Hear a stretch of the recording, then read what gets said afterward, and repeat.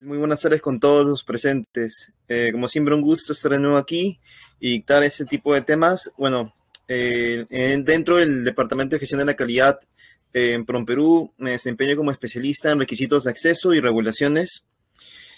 Em, básicamente, lo, que lo que venimos haciendo desde nuestro departamento son metodologías, capacitaciones, talleres, aplicaciones y demás herramientas que puedan facilitar tanto al, usuario, al exportador o al posible exportador, el, tener cerca lo que son los requisitos de acceso para diferentes mercados, así evitar dificultades en una futura exportación.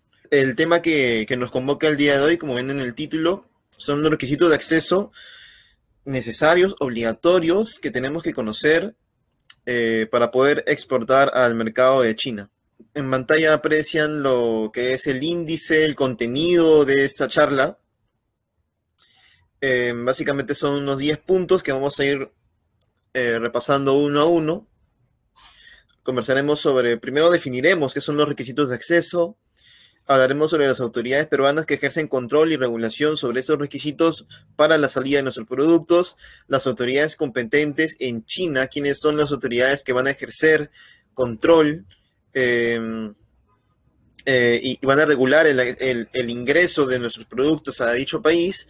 Hablaremos sobre la legislación alimentaria a, grandes rasgos, ya que esta es inmensa, muy, muy grande como para tratarla eh, por completo en, en ese espacio. Eh, hablaremos sobre una particularidad que tiene China, al igual que otros países, que es la necesidad de registrar las instalaciones donde se producen ciertos alimentos antes de ser exportados. Hablaremos sobre qué tipo de productos son eh, los que son obligados de registrar una instalación. Conversaremos un poco sobre los requisitos fitosanitarios y sanitarios necesarios, obligatorios para exportar nuestros productos. Hablaremos, por supuesto, si estamos hablando de alimentos, eh, sobre requisitos de etiquetado, un, un detalle bastante, bastante importante. Conversaremos sobre ello. Por último, hablaremos sobre ya regulaciones un poco más generales, como son lo del tema de aditivos alimentarios permitidos, el tema de plaguicidas o límites máximos de plaguicidas aceptados para nuestros productos alimenticios y contaminantes. Bien, em, si queda tiempo y espacio, hablaremos, sí me gustaría conversar un poco sobre el, em, lo que desarrollamos desde nuestro departamento con el objetivo de poder difundir, difundir estas, esta información, como, como lo son programas, actividades, informes y demás material que desde Perú generamos para ofrecer al público. Bien, bueno, ya eh, repasado un poco lo que es el contenido, el índice de esta charla, damos inicio de esta manera con el primer punto. Bien, ¿qué son las regulaciones o requisitos de acceso? Bien, cuando hablamos sobre requisitos de acceso, tenemos, y vamos a conversar, son muchos sinónimos, encontramos bastante de ellos. Eh, medidas no arancelarias, eh, legislaciones, decretos, leyes, eh, reglamentos, en fin, son distintas políticas de acceso que van a ejercer un control sobre nuestros productos a fin de que pueda ingresar a un mercado sin mayor dificultad. Bien, eh, tenemos que entender que los requisitos de acceso básicamente se manejan por leyes o reglamentos, como ya comentaba, y dada esa naturaleza, mm, son no negociables. Bien, eh, tenemos en el ámbito de las negociaciones internacionales que hay muchos puntos que pueden ser negociables, como lo son ah, ciertas certificaciones, cantidades, calidades, etcétera. En cambio, cuando hablamos de requisitos de acceso, estamos apegándonos a lo que es la inocuidad del producto. Bien, es decir, esto, y, es algo que debemos tener en cuenta, la inocuidad no es negociable. Eh, la garantía de que el producto no me cause daño a mi salud no se puede negociar. Bien, entonces, y dada esa naturaleza de, de las regulaciones y requisitos de acceso, son leyes y no pueden ser modificadas. Entonces, definamos bien lo que son las, los requisitos de acceso como medidas no arancelarias. Bien, em, según, la, según la UNTAC, no existe una definición generalizada o, única, pero sí podemos encontrar en pantalla una, una definición bastante cercana, ¿no? Las medidas no arancelarias son medidas de política distintos a los aranceles aduaneros ordinarios. Y aquí sí quiero explicar que em, es justamente el nombre de medidas no arancelarias porque lo diferencian del tema arancelario en las exportaciones. Si bien los que estamos presentes ya, ya, ya este, presenciamos las anteriores, las anteriores ponencias y conocemos de comercio internacional, sabemos que los aranceles son este pago, este impuesto que se, que se hace por la transferencia de bienes o servicios en el comercio internacional, que son reducidos a través de eh, convenios como lo son los tratados de libre comercio. Bien, los tratados de libre comercio tienen el objetivo de reducir las medidas arancelarias. Bien, esos impuestos de tal manera que, nuestros productos no tengan que pagar tanto para poder acceder a tal mercado y podamos competir de una mejor manera. Dentro de los CLCs también se, eh, se tratan lo que son las medidas no arancelarias. Bien, justamente para facilitar eh, el ingreso o facilitar el listado de requisitos para ciertos productos priorizados por un país o el otro. Siempre que se negocia un TLC, se ponen sobre la mesa ciertos productos que son priorizados para un país y el otro, a fin de que esos productos puedan, eh, se puedan generarse requisitos específicos para ellos y de esa manera eh, puedan ingresar. Muy bien, entonces tenemos que como medidas no arancelarias nos olvidamos por completo de todo lo anterior y no estaremos hablando de los aranceles. Eh, estos pueden tener repercusiones económicas en el comercio internacional de bienes, modificando el volumen de las transacciones, los precios o ambas cosas. Bien, dentro del universo de las medidas no arancelarias existen medidas técnicas o medidas no técnicas. El día de hoy nos vamos a concentrar, por la naturaleza del producto, que son alimentos, en dos de ellas. En las medidas técnicas llamadas medidas sanitarias y fitosanitarias, o MCFs, y obstáculos técnicos del comercio, llamados OTC. Bien, ¿cómo diferenciar ellas? Eh, ¿Cómo se definen?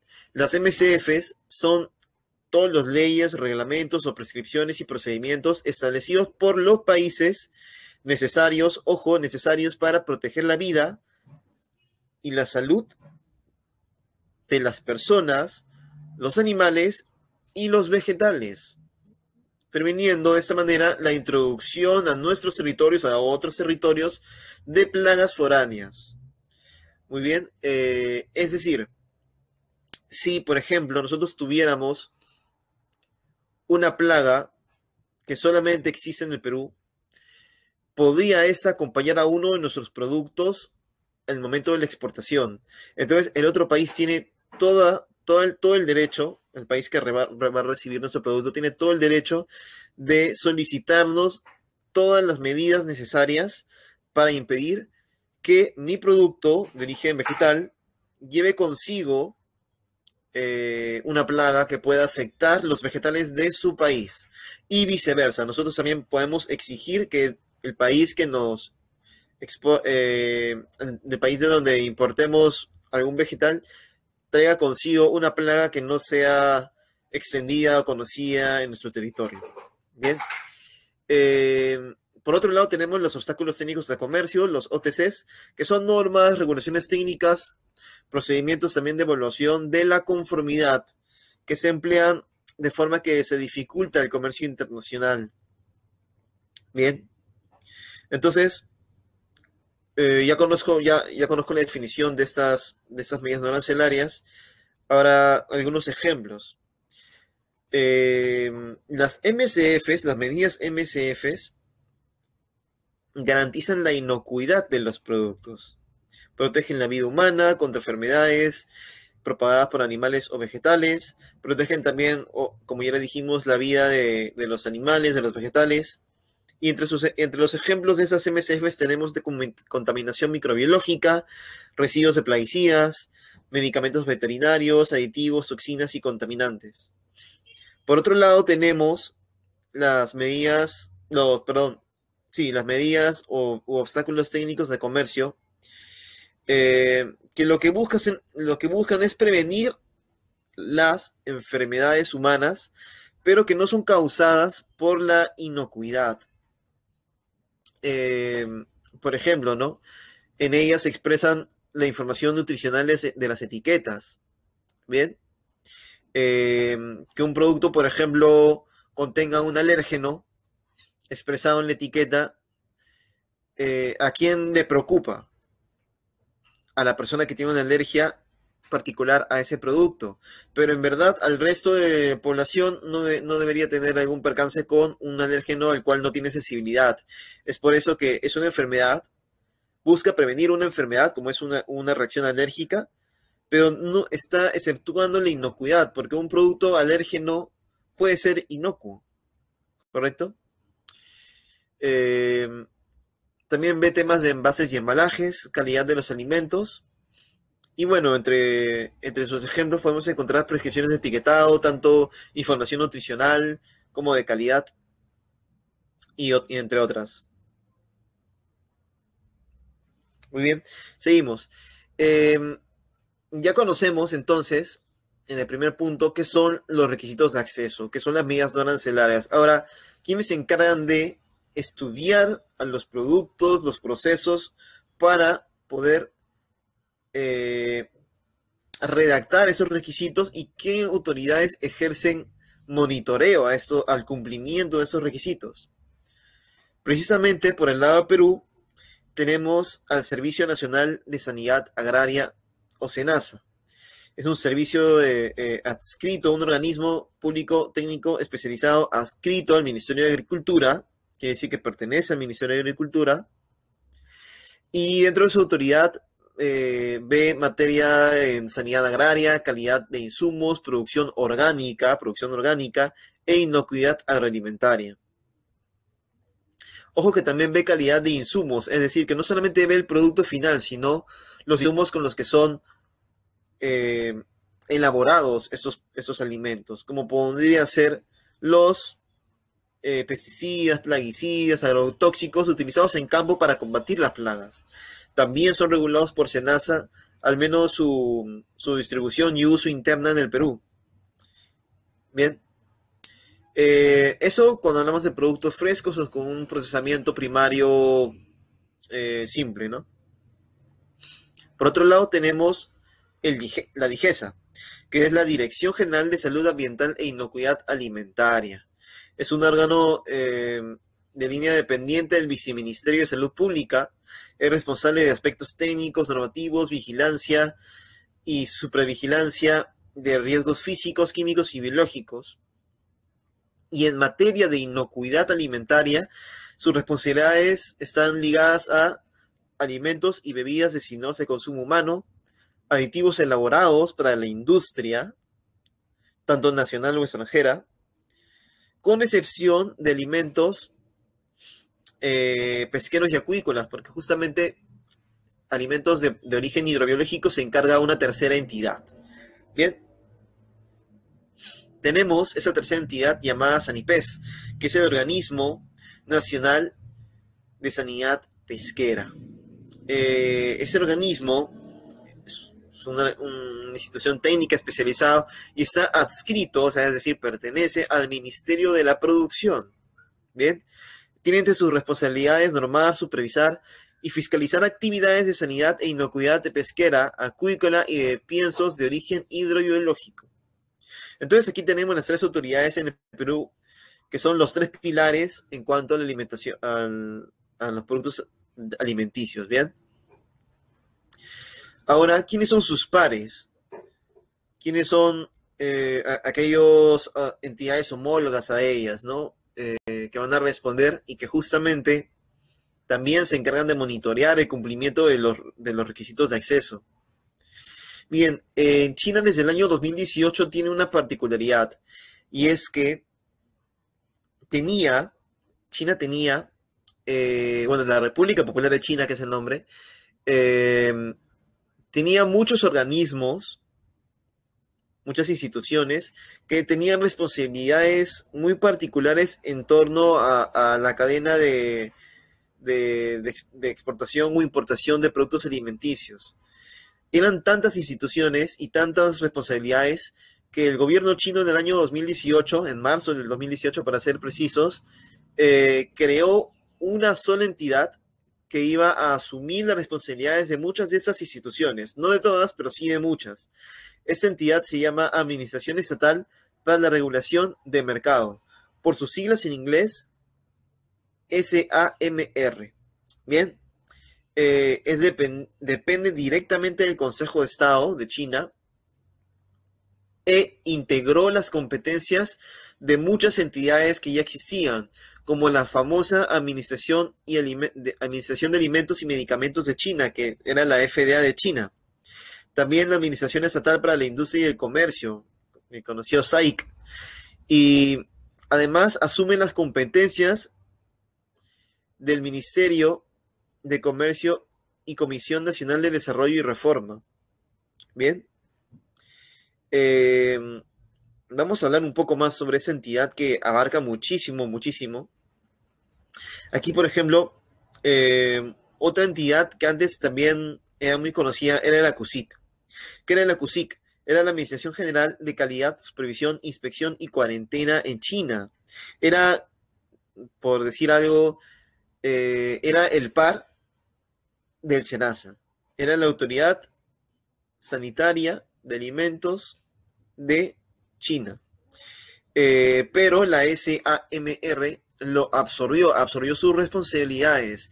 Entre ellas, absorbió las responsabilidades que eh, eh, de, gestión cuarentenaria, ¿no?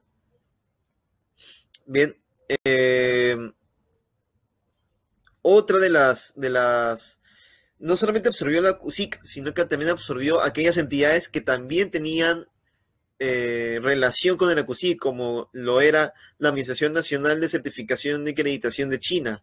También absorbió dichas responsabilidades.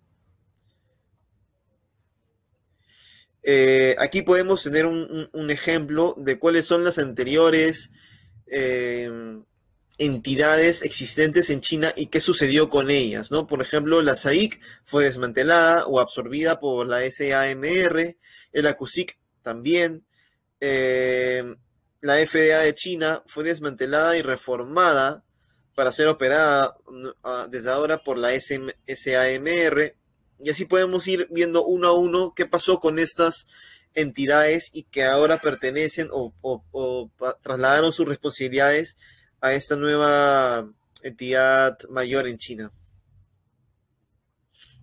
Bien, eh, ya conociendo un poco los antecedentes y aquellas instituciones que absorbió la SAMR, eh, comentemos un poco acerca de las responsabilidades que tiene esta institución, entre ellas la supervisión del mercado, por supuesto.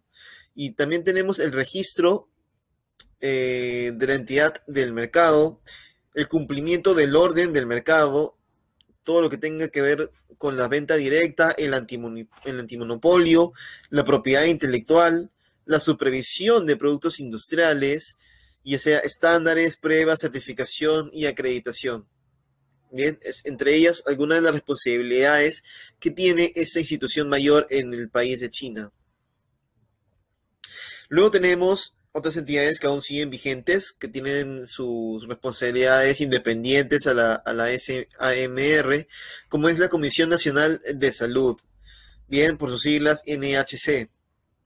Em, en el sistema regulatorio de seguridad alimentaria, esta entidad es responsable de la evaluación de riesgos de, seguridad alimentaria, valga la redundancia, esa entidad también formula e implementa planes de monitoreo de riesgos de seguridad alimentaria en colaboración con la SAMR y otros departamentos. Eh, entre su, principal responsabilidad es la aprobación de los ingredientes alimentarios derivados de la biotecnología. Bien. Continuamos entonces. Tenemos esa tercera entidad llamada la GAC, que es la Administración General de Aduanas en China. Es la aduana de China. Bien, la GAC eh, se ocupa principalmente de la seguridad pública y la protección de fronteras, es decir, todo lo que entre o salga va a pasar por la GAC en el mercado chino. Eh, se encarga de la inspección de entrada y salida de mercancías y la recaudación de derechos de importación y exportación. Quiere decir que también se, encarga de la recaudación de esos impuestos en el intercambio comercial internacional. Eh, NAGAC también se encarga de la cuarentena e inspección de alimentos y agricultura en los puertos de entrada y gestiona las políticas de importación y exportación. Bien, entonces las responsabilidades de la GAC son muchísimas más amplias que ser solamente una aduana. Es un organismo bastante fuerte que regula, regula también el, acceso y, controla las inspecciones cuarentenarias de productos eh, comprometidos, ¿no? Tenemos esa cuarta entidad llamada MARA, que es el Ministerio de Agricultura y Asuntos Rurales de China. El MARA es responsable de regular la calidad y seguridad de los productos agrícolas comestibles. Quiere decir que bajo su bajo bajo las dimensiones que abarca están productos sin procesamiento. Estamos hablando de productos agrícolas sin transformación. Eh, Mara también es responsable de la prevención y el control de enfermedades animales y vegetales. Bien. Trabaja de la mano con el SAMR y la GAC en cuestiones de acceso al mercado y trazabilidad de productos. Tenemos el Ministerio de Comercio en China, o también llamado MOFCOM. Bien. Es un organismo que ya tiene mucho tiempo existiendo y entre su responsabilidad primaria es la de gestionar cuestiones relacionadas con la, Organización Mundial del Comercio, que es la llamada OMC. Eh, se encarga de enviar notificaciones a los comités sanitario y fitosanitario MCFs y obstáculos técnicos de comercio de la OMC. La OMC, que es este organismo, esta organización mundial, se encarga de recibir las observaciones en cuanto a MCF y OTCs, que son justamente las medidas no arancelarias que ya habíamos repasado eh, anteriormente, ¿no? Más temprano. Muy bien, entonces ya repasamos algunas definiciones, ya conversamos acerca de eh, las autoridades competentes de ejercer monitoreo y control, ya sea en nuestro país, en el Perú, como en China.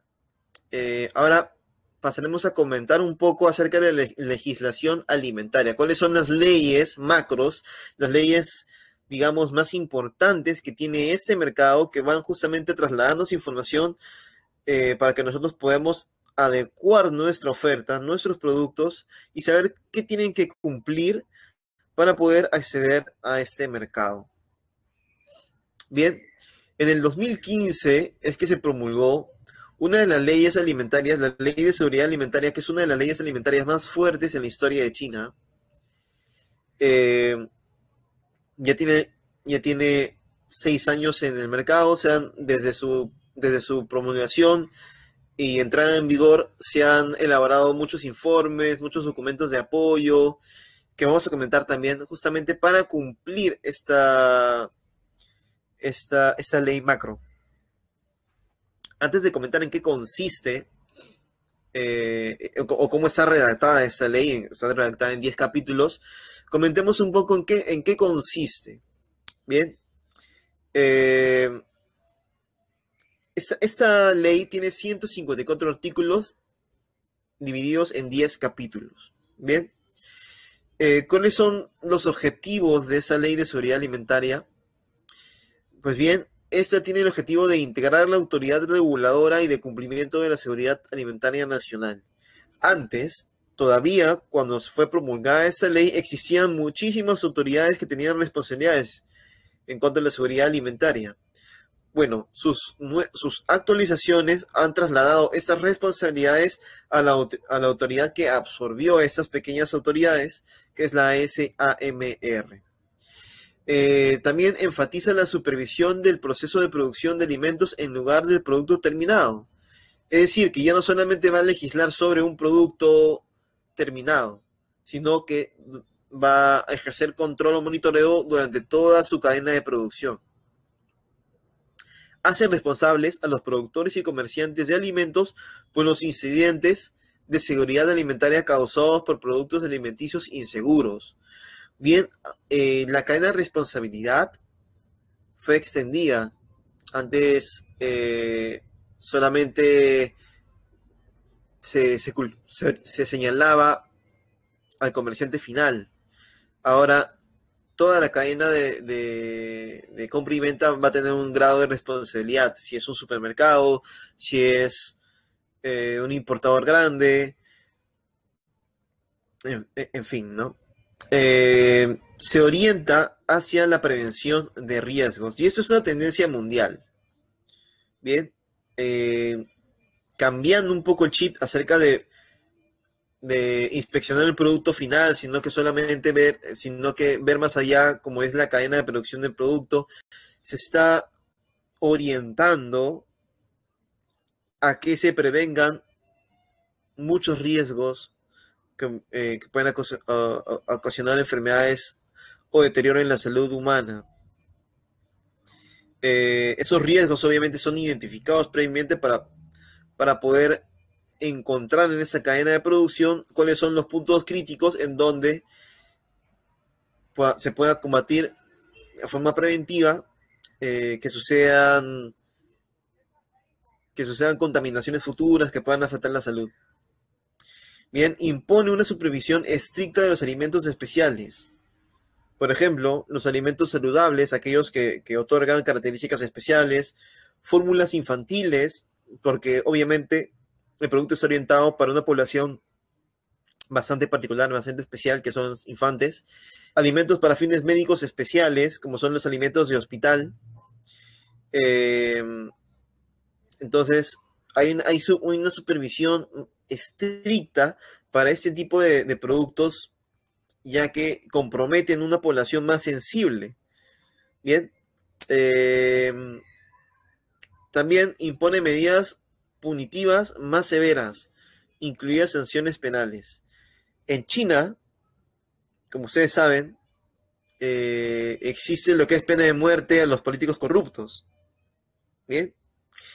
Eh, en China, existen sanciones bastante, bastante fuertes para empresas que elaboran alimentos que terminan siendo contaminados y terminan contaminando o enfermando o matando a, parte de su población. Eh, sanciones bastante fuertes que, son trasladadas de acuerdo a la responsabilidad. Bien. Eh, comentamos que esta regulación tiene más de 150 artículos divididos en 10 capítulos y ahora comentemos un poco acerca de estos, capítulos. Bueno, en verdad, lo que vamos a hacer es, mencionar cada uno de esos capítulos ya que eh, esa ley es, muy extensa y no alcanzaría el tiempo necesario para, para hablar a detalle en cada una de ellas, ¿no? Pero bueno, capítulo 1 habla sobre las previsiones generales de toda ley. ¿no? Todos los antecedentes, definiciones y demás. Capítulo 2, seguimiento de riesgos y evaluación de la seguridad alimentaria.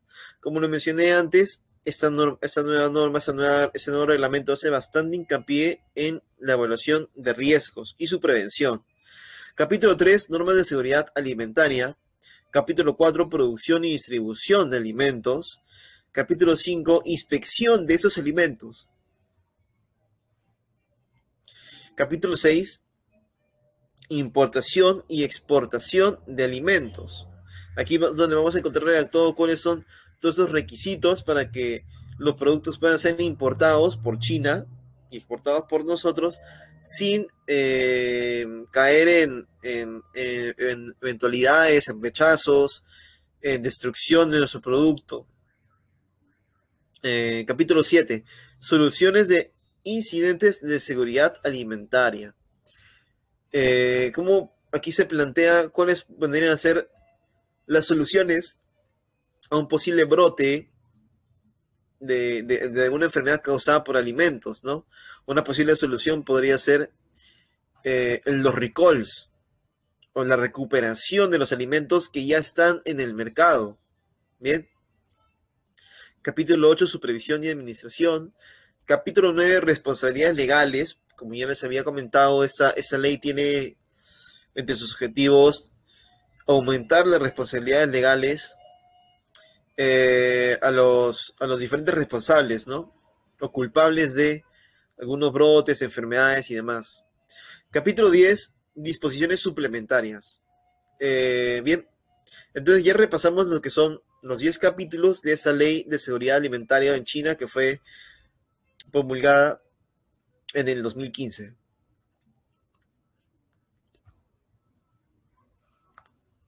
Bien, si, tienen interés de conocer a más detalle en qué consisten cada uno de estos capítulos, eh, sí les comento que las regulaciones chinas son un tanto complicadas de obtener. Si bien una regulación, ya lo comenté, es de obligatorio cumplimiento, quiere decir que también es obligatorio por parte de ese país poder publicar esta información a fin de que nosotros nos podamos enterar. Pero cada país elige cómo publicar la información. Es decir, es más, aún en el Perú, podrían encontrar un reglamento, un decreto, una ley, una normativa, como un documento escaneado. Entonces la búsqueda de información en un documento escaneado es bastante más compleja porque no puedes buscar una palabra clave. China también tiene esa particularidad que carga información ya sea en documentos escaneados como solamente en idioma chino. Y es responsabilidad de cada usuario el traducir esta, esta información. Pues bien, a lo largo de esta presentación van a encontrar bastantes links relacionados a USDA. ¿Qué es USDA? USDA es el Departamento de Agricultura de los Estados Unidos, que tiene oficinas en casi todos los países que reportan traducciones oficiales, e información regulatoria. Entonces, esta presentación en particular recopila y recoge mucha información publicada por Estados Unidos en cuanto al mercado de, China. Es por eso que muchas veces en la parte de abajo van a encontrar reporte USDA, etcétera, y es justamente estudios que ha realizado dicho país y esfuerzos para la traducción de las normativas chinas. En este caso,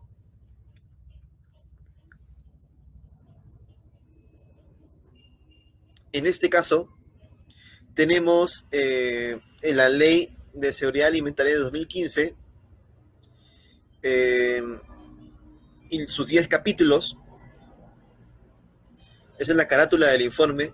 Y cuando vean una oración o una frase en color azul y subrayada, quiere decir que te lleva a un hipervínculo. Quiere decir que dando clic en esta presentación podríamos dirigirnos a, la web de donde hemos obtenido esta información. Y como ya les comentaba, la USDA es una fuente muy confiable de información. Si bien es una traducción no oficial, es una traducción hecha por la misma oficina comercial de este país, de Estados Unidos, en dicho mercado. Bien. Eh, tenemos el, entre otras de las leyes, el reglamento de ejecución de la Ley de Seguridad Alimentaria. En el 31 de octubre de 2019, el Consejo de Estado, muy bien, publicó las regulaciones de implementación revisadas de la Ley de Seguridad Alimentaria de 2015. ¿Esto qué quiere decir? Que en el 2019 se publicó una especie de manual para interpretar y ayudar a los usuarios con el cumplimiento de la normativa del 2015. Este, esta ayuda también está compuesta por 10 capítulos y 86 artículos y entró en vigor el 1 de diciembre de 2019. Es como un documento que va a, esclarecer lo no mencionado o, lo mencionado de forma vaga en el reglamento de 2015, que también nos va a orientar y nos va a ayudar a cómo cumplir, e interpretar y cumplir esta, la regulación previa. Abajo, como ya les había comentado, les dejo el nombre de este informe eh, y el link. Si acaso eh, eh, ustedes gustan obtener más información.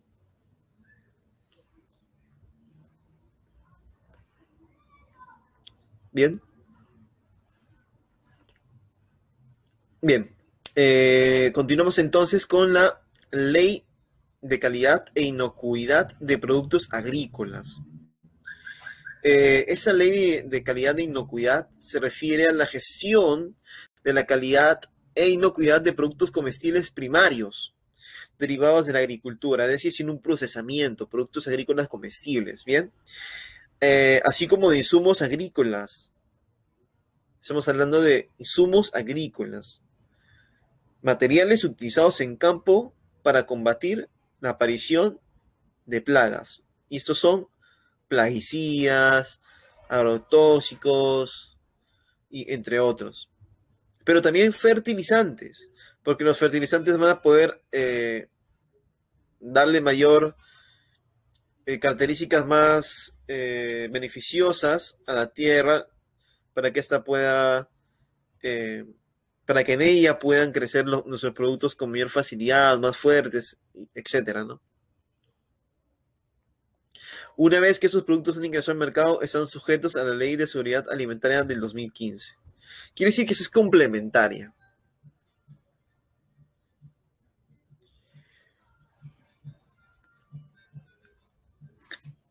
Bien, tenemos la Ley de Protección de los Derechos del Consumidor. En el 2013, China aprobó una enmienda a la Ley de Protección de los Derechos del Consumidor que entró en vigor en marzo de 2014. Teniendo en cuenta los incidentes relacionados con la seguridad del consumidor y la seguridad alimentaria, esta enmienda agregó un lenguaje para abordar cuestiones relacionadas con las compras en línea, que está tan arraigado últimamente, en e-commerce, el retiro de productos, que es justamente lo que la recuperación de productos o y la compensación a los consumidores relacionada con la compra de productos alimenticios que no cumplen con las normas. Es decir, si, si hay un producto que es identificado que no cumple con las normas, eh, el, el, cliente no se, vendría, no se vería perjudicado.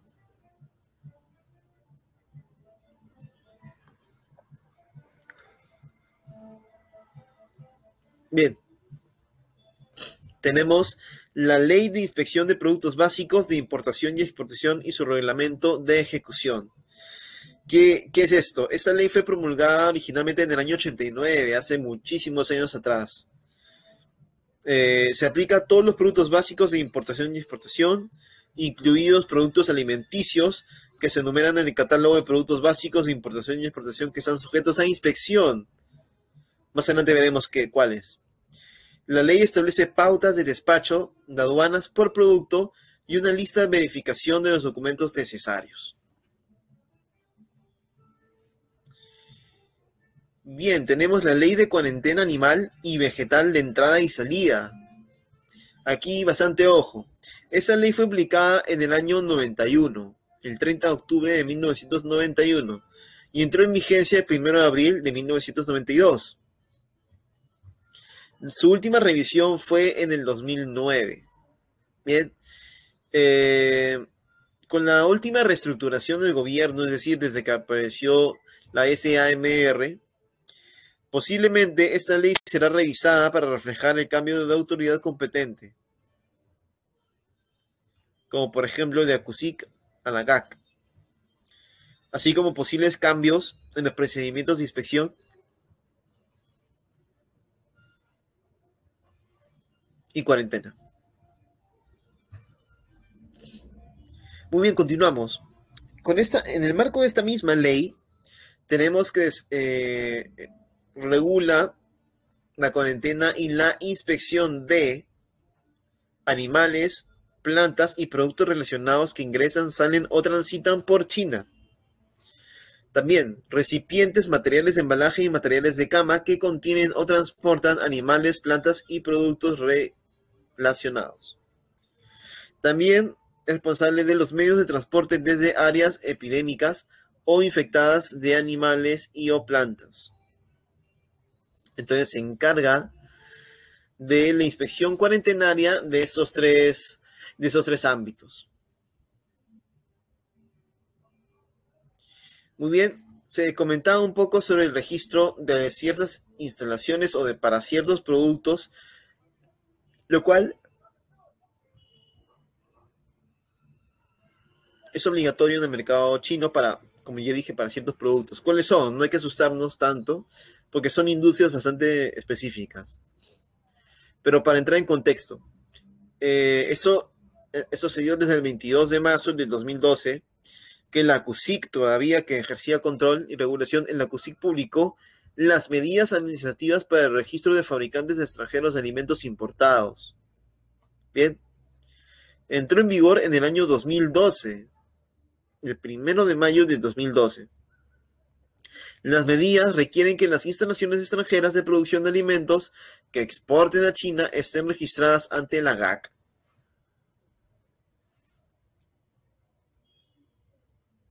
El 21 de diciembre de dicho año también, en la CUSIC publicó el catálogo de implementación para el registro de fabricantes extranjeros de alimentos importados, que estipulan los productos que requieren de ese registro, de, ese registro para sus instalaciones.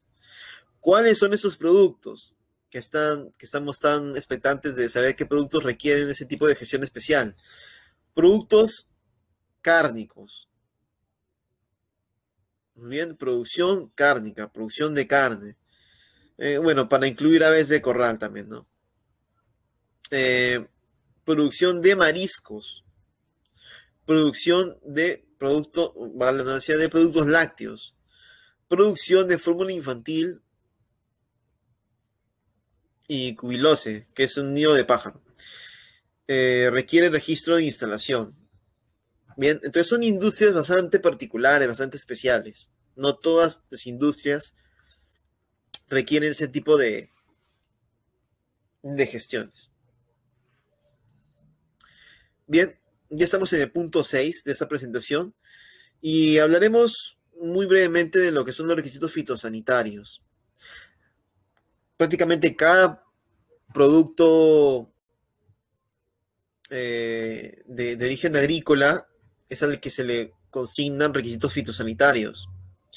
Y todos ellos son particulares, porque no hay un producto que produzca, que pertenezca a otra familia, que guarde iguales características o por coincidencia iguales controles, eso es muy difícil de encontrar. Tenemos como certificación fitosanitaria lo siguiente. Con el propósito de prevenir la introducción de plagas y prevenir y proteger la sanidad vegetal, esto basado en los principios relevantes del acuerdo sobre medidas sanitarias y fitosanitarias, que es el acuerdo MSF,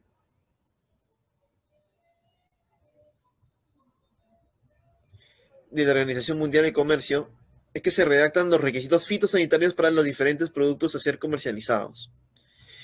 ¿Dónde podemos encontrar desde nuestro lado peruano esos requisitos fitosanitarios para los productos peruanos a ser exportados a China? Bueno, les comparto el link de la web de consulta de requisitos del SENASA, que es una web bastante, bastante poderosa, que justamente tiene la, misión de redactar cuáles son los requisitos fitosanitarios para la exportación de mis productos. Aquí quisiera compartirles un par de ejemplos. Eh, aquí tenemos, por ejemplo, la palta como producto fruto fresco, ¿no? Internacionalmente también conocida como aguacate. Quizás no puedan observar bien por el tamaño de, letra, por justamente ajustarnos a, la presentación, pero ustedes mismos pueden entrar en la web de Senasa y realizar las búsquedas, ¿no? Dirigirnos a exportación, elegir el producto, elegir el origen, bueno, el origen todos son productos peruanos, y el destino, en ese caso China. Aquí podemos encontrar que existen requisitos generales, como son el certificado fitosanitario. ¿Qué es el certificado fitosanitario? Básicamente es la evidencia, es el documento que evidencia que nosotros hemos cumplido con todos los requisitos fitosanitarios para un producto especial o específico para este mercado. ¿Qué más requiere el mercado chino para que, mis para que mi palta pueda acceder? Certificado del lugar de producción, certificado de planta de empaque Y es especial y particular ese detalle, ya que les había comentado que China ahora no se enfoca en el producto final, sino que se enfoca en monitorear la cadena de producción del producto, en este caso de la palta. Tenemos declaraciones adicionales que deben ser consignados en el certificado fitosanitario. Eh, menciona el tratamiento con etanario, el cual se le tiene que aplicar, en este caso no requiere. Requisitos de etiquetado, quiere decir que esta mención de etiquetado debe ir sí o sí en por lo menos los cajones o en las cajas de cartón que van a contener nuestras paltas. Bien.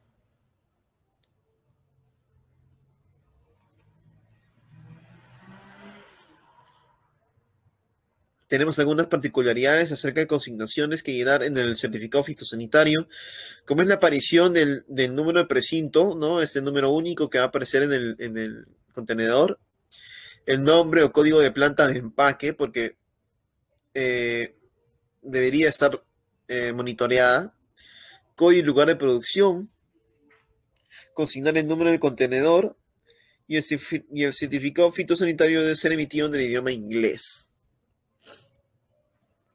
Bien, aquí tenemos otro ejemplo de algo, de un producto que ha ingresado, un producto bandera, que es la quinoa, que ha ingresado no hace más de tres años a este mercado, ¿no? Que es la quinoa en grano. Tenemos los requisitos generales, que es el certificado fitosanitario, eh, autorización, de, autorización sanitaria para las plantas, de, las plantas de empaque, ya que para poder exportar quinoa a dicho mercado, la planta donde se va a hacer el proceso primario de llenado de sacos es eh, que deben contar con autorizaciones por parte de la autoridad de dicho país, que, antes era la CUSIC, ahora es la, la GAC. Plagas reguladas, y aquí vamos a poder encontrar redactadas cuáles son las plagas eh, que inciden en ese producto y que justamente no deberían aparecer en el producto a ser exportado. Declaraciones adicionales, aquí menciona acerca del protocolo fitosanitario que existe para la quinoa de Perú. Eh, tratamiento con no menciona. Requisitos de etiquetado. Eh, menciona que debe consignar mi etiqueta, de, ya sea mi, eh, de mi caja. Debe consignar planta de empaque, dirección de planta de empaque, número de lote, número de producto y nombre del exportador. Nombre de producto y nombre del exportador. Bien. Ahora, ciertos productos, como el mango, y entre otros, tienen planes de trabajo redactados donde se especifican todos los requerimientos fitosanitarios para su exportación. Les comparto la web de Senasa, en el link que está abajo, donde van a encontrar todo lo que son manuales de procedimientos, protocolos y planes de trabajo para la exportación de productos eh, agrícolas frescos. Aquí, por ejemplo, tenemos que la uva fresca tiene un plan de trabajo para China, los mangos frescos también, los cítricos frescos también, los espárragos frescos y eh, la palta, el arándano, y por último, no es un plan de trabajo, pero sí es el protocolo de requisitos fitosanitarios para la exportación de quinoa peruana a dicho mercado. Bien, requisitos sanitarios.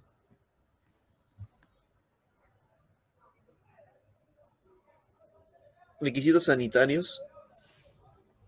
El importador de alimentos eh, importados, valga la redundancia, o su agente declararán los alimentos a la aduana de conformidad con las disposiciones. Los materiales de declaración pueden transmitirse a la aduana por vía electrónica en forma de declaración electrónica o presentarse directamente en la aduana en forma de original o fotocopia en papel.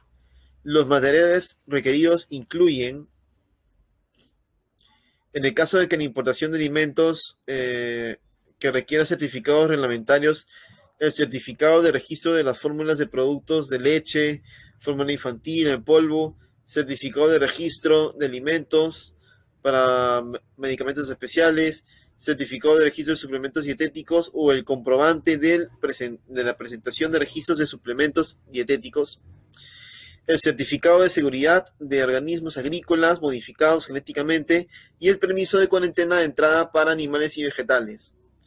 Es decir, si aplica alguno de estos productos, justamente este, esta,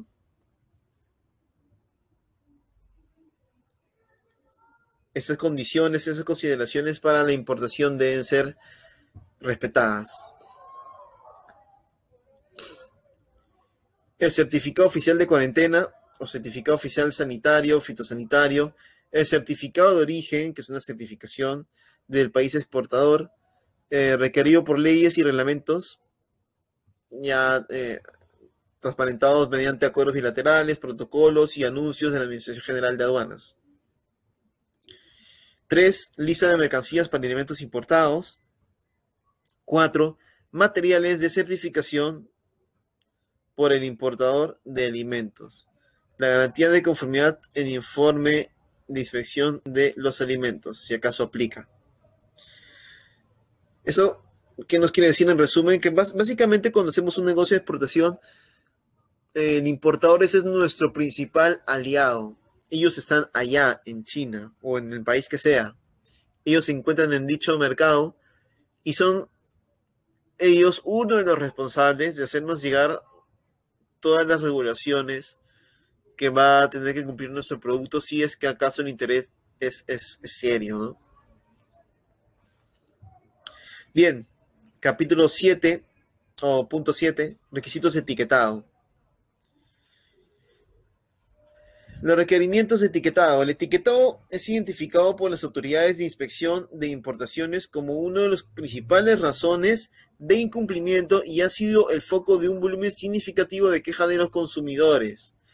Así como estudios que hemos realizado en otros países, el etiquetado es una de las mayores causas de rechazos de nuestras exportaciones para alimentos. Es por ello que en cada taller hacemos hincapié en que los etiquetados deben ser realizados por, por personal especialista, ya que deben dar cumplimiento y monitorear cuáles son esos requisitos, esas especificaciones especiales que nos va a pedir las regulaciones chinas o de cualquier mercado para yo consignar información real y veraz en mis etiquetas. Bien, eh, se define como un producto preenvasado a todo alimento envuelto, empaquetado o embalado previamente, listo para ser ofrecido al consumidor. Em, de conformidad con la Ley de Seguridad Alimentaria de 2015, los alimentos preenvasados que antes definimos deben etiquetarse con la siguiente información. Muchos de esos ítems son bastante generales. Muchos de esos requisitos de etiquetado son bastante generales. Aquí encontramos, por ejemplo, el tema del nombre del producto, cómo va a ser conocido mi producto en dicho mercado con su nombre comercial, la especificación del producto, especificación de este, definiciones y demás, contenido neto del alimento, eh, la fecha de producción, en qué, en qué momento fue producido este alimento, y por ende también más adelante vamos a encontrar la vida útil del producto, ¿no? Su fecha de caducidad. Pero sin saltearnos, también debe incluir la tabla de ingredientes o formulación de los productos. Bien. Nombre, ya para transparentar información, nombre, dirección e información de contacto del productor. Bien. Eh, ya comentamos sobre ello, la vida útil del producto. Ojo, para obtener la vida útil de un producto es necesario llevar el producto a un laboratorio acreditado y que ellos te arrojen mediante un informe la vida útil de un producto. ¿Y esto por qué? Porque toda información que nosotros consignemos en una etiqueta, ya sea para China o cualquier país, yo debo tener evidencia o sustento de que, de que tengo eh, razón para colocar dicha información en la etiqueta. Bien, eh, cualquier autoridad de cualquier país, autoridad sanitaria de cualquier país, puede solicitarte información que sustente la, la eh, eh, el contenido de etiqueta. Entonces es importante acercarnos a, laboratorios acreditados para obtener esta info, esta información. ya sea para la vida útil o para la, la tabla nutricional, etc. Nombre genérico de los aditivos alimentarios que se utilizan en la norma nacional. Más adelante hablaremos sobre estos aditivos alimentarios. Número de licencia de producción.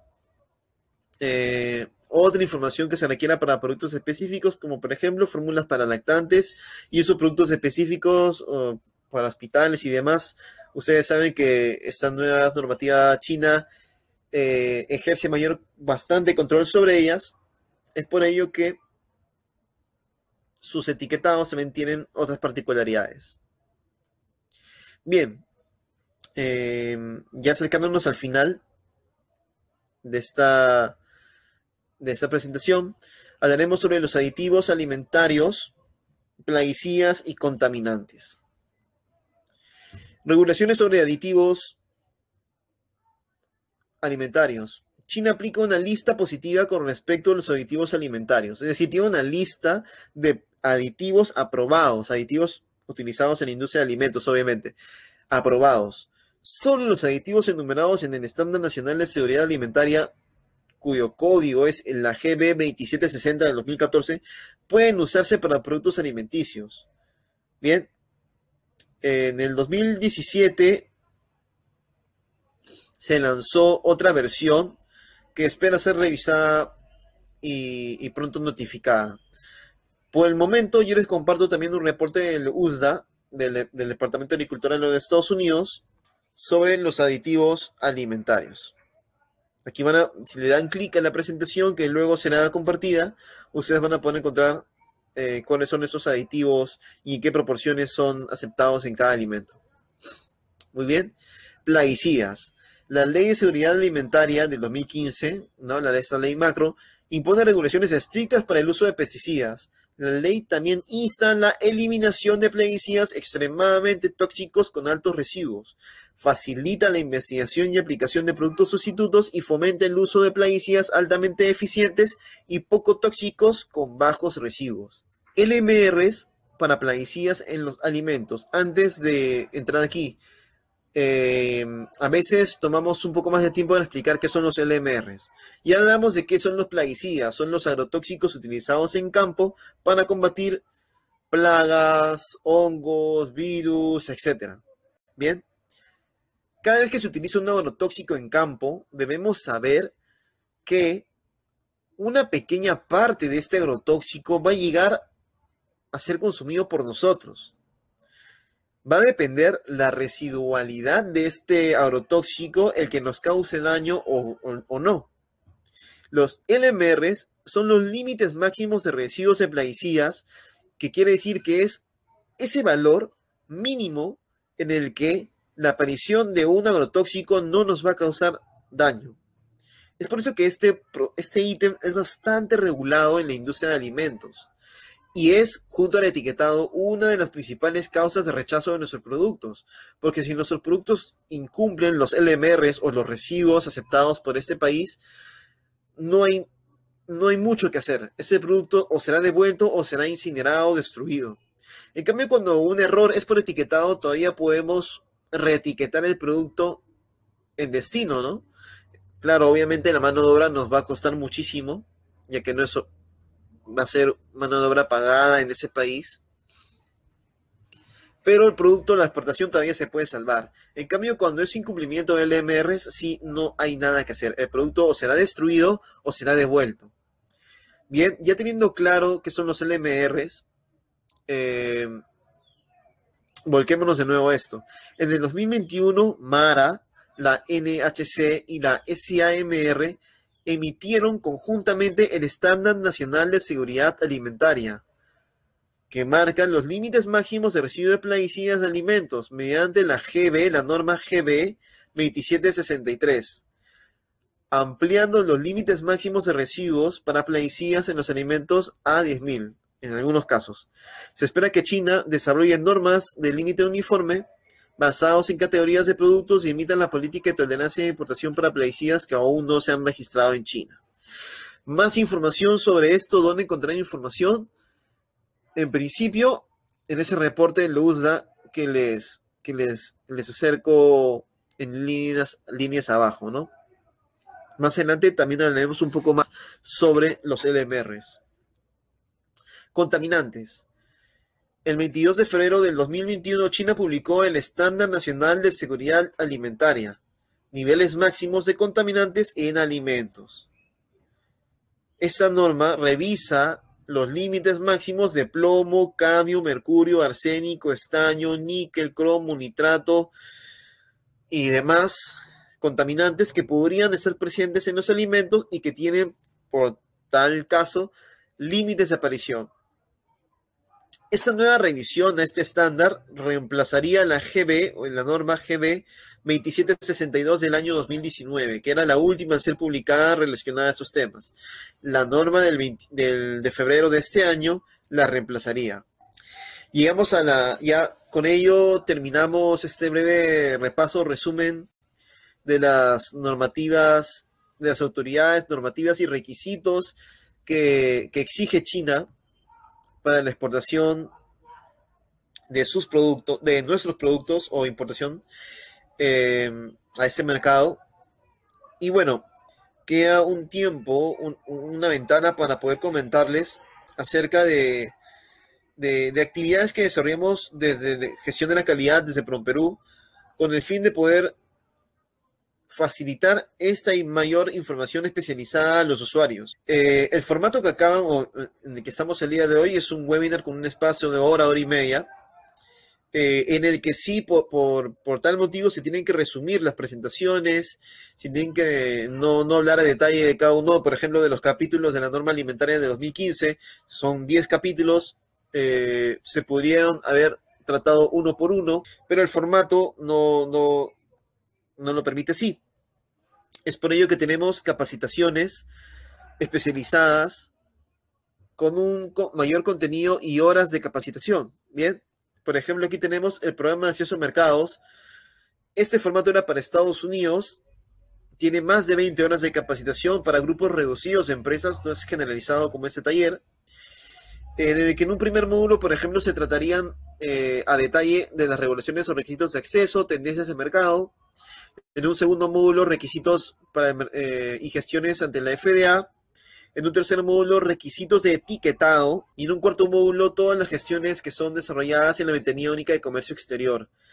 Ese formato también es empleado, ese mismo programa, esta misma metodología es empleado para otros países como la Unión Europea en la pantalla que ven en este momento.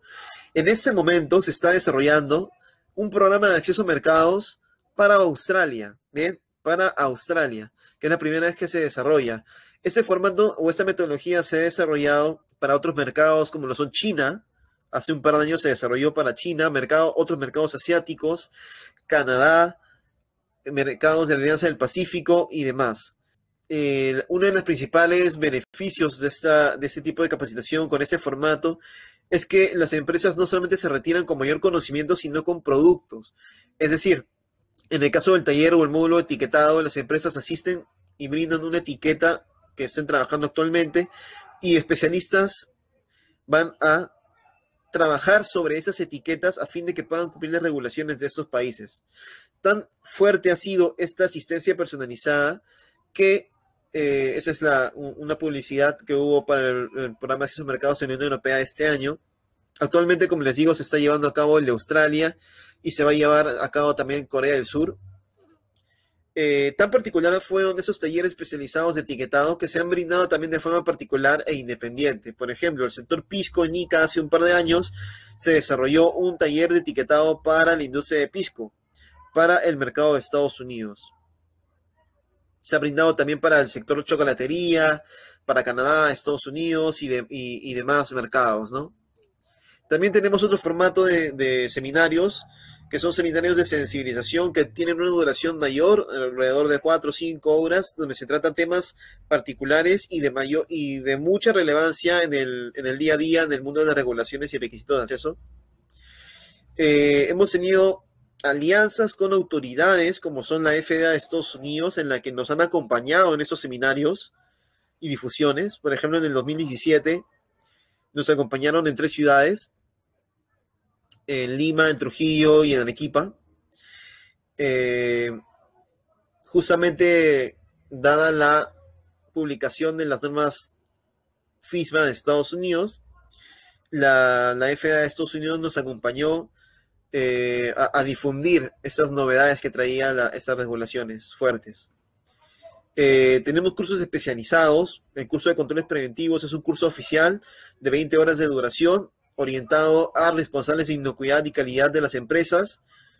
Eh, son 20, es un curso de 20 horas de duración desarrollado de forma presencial, era desarrollado en dos días y medio, de forma virtual. Lo estamos haciendo en dos semanas, en días intercalados, porque es bastante, bastante denso y un tanto complicado eh, comprometer a responsables de calidad de inocuidad de empresas todo un día, un día entero en, ser capacitados, ¿no?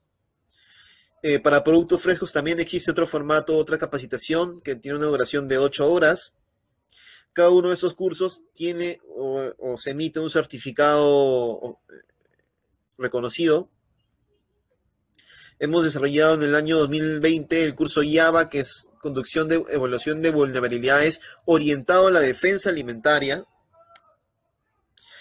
Eh, bueno, en pantalla algunos información de requisitos de mercado, de requisitos de acceso.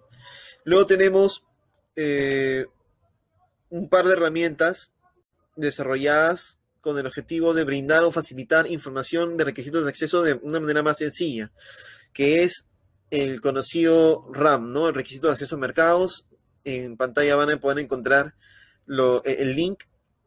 Básicamente es una web gratuita, una herramienta gratuita, se puede revisar desde los celulares, la información es monitoreada y validada eh, con cierta periodicidad, toma referencias solamente oficiales, tanto de autoridades sanitarias locales como extranjeras, y recopila tanto exigencias internacionales como nacionales.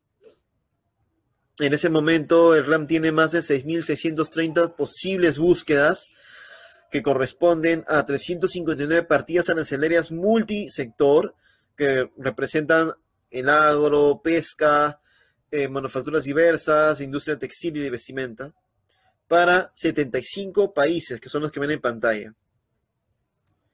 Esta es un poco de la información que van a poder encontrar en el RAM dependiendo de la búsqueda que realicen. Y si no encuentran respuesta para una búsqueda particular que ustedes hagan, no quiere decir que ese producto no pueda ingresar, quiere decir que en su momento no ha sido priorizado, ya que, eh, como ven, es bastante información la que tener actualizada en el RAM. Entonces, año a año se prioriza entre la actualización de información ya existente o la adhesión de información nueva entre esas dos eh, alternativas nosotros decidimos y priorizamos. Básicamente van a poder elegir primero el filtro del sector, el nombre del producto, la partida arancelaria y el país a donde ustedes desean exportar el producto. Bien, esto es básicamente la información que va a aparecer. Y también puede ser descargado en formato PDF para una revisión eh, en, otro momento o fuera de línea, ¿no? Esa es la visualización de, la web eh, en los celulares, en smartphones. Y bueno, también les había comentado que acerca de los límites máximos de residuos de plaguicidas, tenemos una web especializada en ella. Les comenté, les dije que al ser información obligatoria, cada, país debe transparentar la información de los LMRs permitidos por esos países.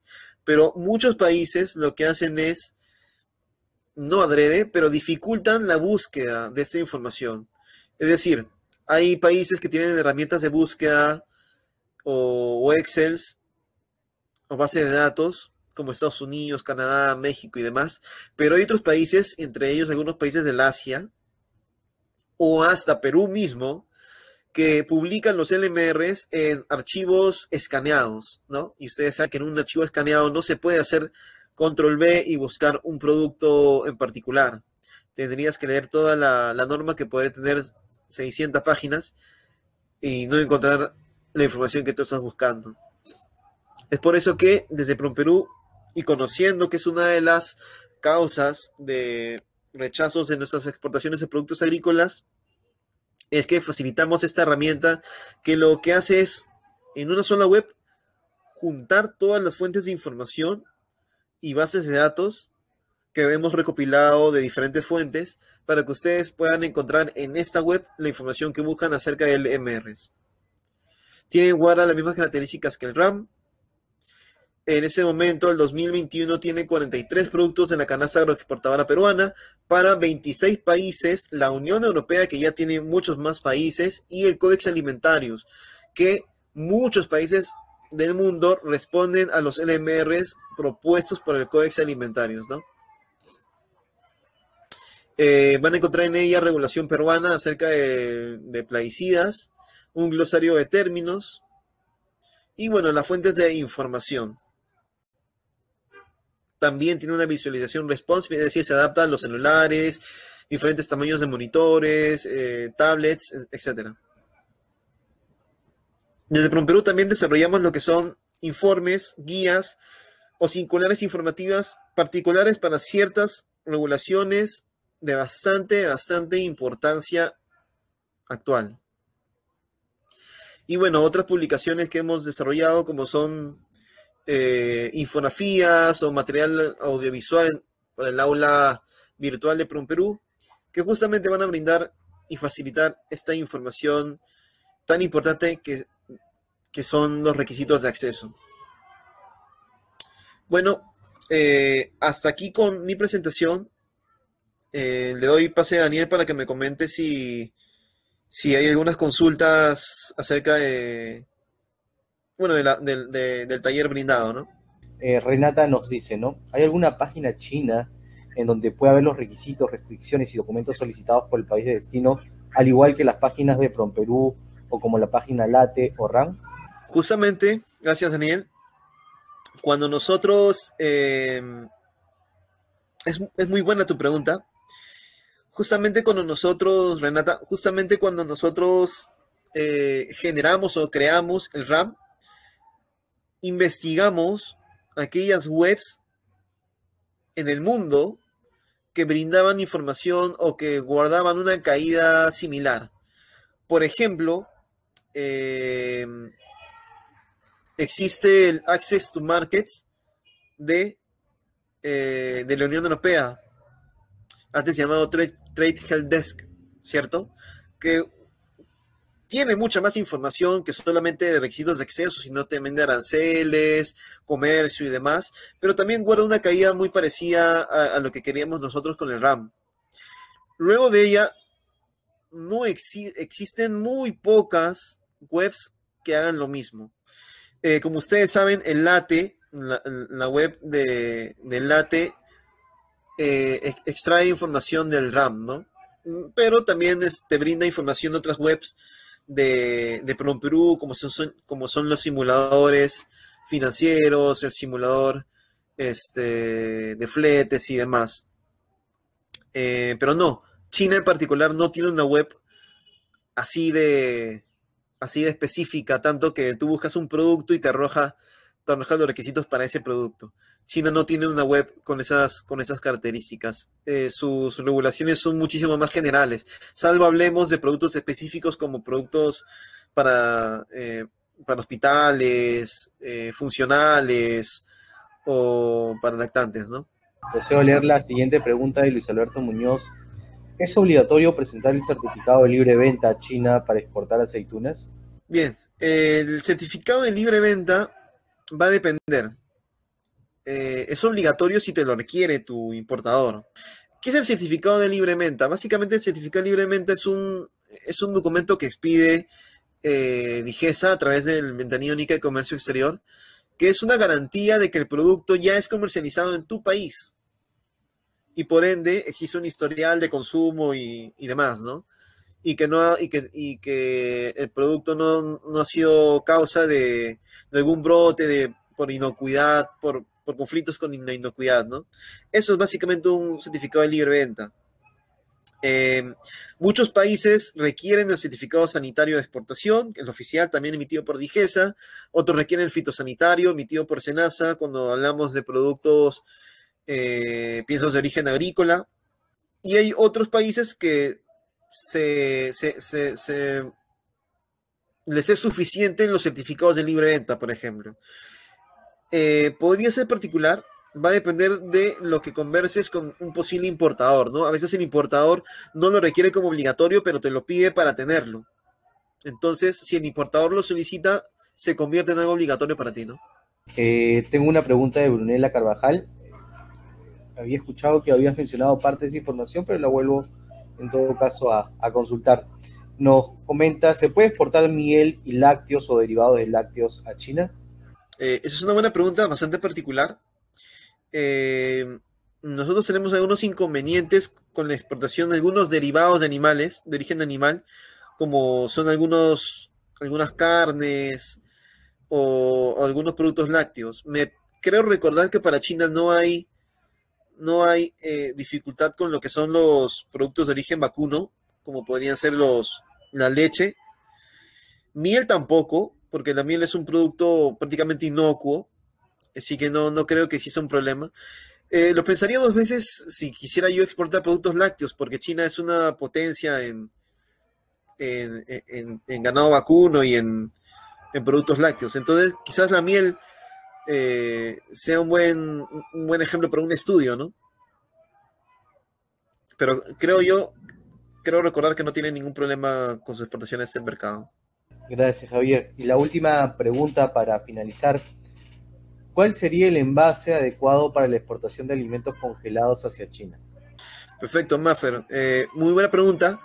Justamente hay un tema que no traté en esa presentación, que es lo de envases y embalajes. Eh, si tú me... ah, Bueno, se puede contestar por, por dos... eh, de dos maneras esta, esta pregunta. Si hablamos del tema comercial, pues va a depender mucho de la apariencia de este envase, ¿no? Si hablamos de temas de requisitos de acceso, estamos orientándonos al tema del material del que está compuesto este, eh, este envase. Eh, existen materiales plásticos que son permitidos para la industria de alimentos. No es un tema del, que, del cual hablé en esta presentación porque tuve que resumir muchos detalles, pero sí existe un capítulo especial para envases y embalajes eh, dentro de las regulaciones de China y este, yo, yo te las podría alcanzar si me escriben ¿no? al, al correo que ven en pantalla. Tuve mucho que resumir para poder colocar estos puntos en la presentación y eso es uno de los temas que sí conscientemente tuve que retirar por temas y motivos de tiempo. Pero eh, si me escriben te puedo acercar la información. Gracias, Javier. Esas son todas las consultas que hay de parte del público asistente. Gracias una vez más por, por tu participación el día de hoy. No sé si quieres cerrar eh, tu participación con algunas palabras finales. Saludar y agradecer al público asistente. Ya nos volveremos a encontrar. Y bueno, para mí, como siempre, un gusto poder transmitir esta, esta información tan valiosa para usuarios que, si no están exportando ahora, en un futuro desean hacerlo. Bueno, un gusto y muy agradecido. Gracias, Daniel, nuevamente. Hasta luego a todos.